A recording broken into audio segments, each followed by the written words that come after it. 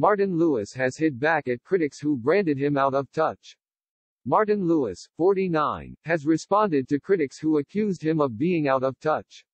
The money-saving expert founder responded to a Twitter user who did not agree with him surveying his followers on whether they had cleaners.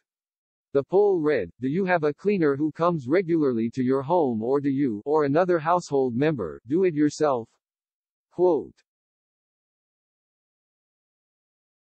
All work means all adult members of the household have work, jobs, full-time study.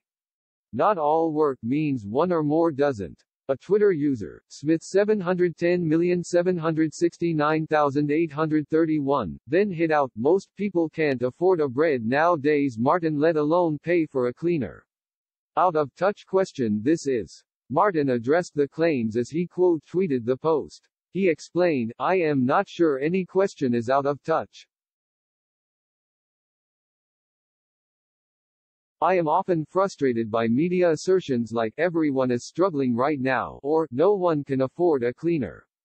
Actually the pandemic made many better off, many worse off.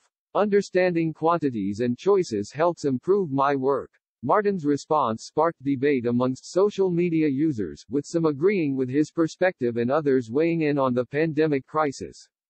Fontanesi wrote, It for sure didn't make the disabled better off. Many of whom are on legacy benefits so didn't even get the 20 pounds uplift. Unseen, ignored, forgotten, screaming into the void. The disabled community have been badly served and no one seems to care.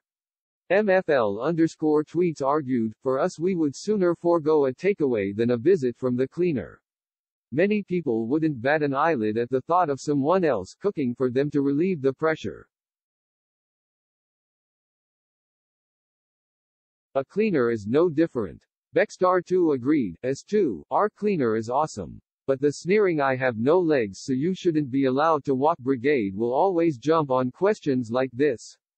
Bix Hilton penned, not an out-of-touch question at all. All my friends have a cleaner. We tried it but got fed up of cleaning before the cleaner.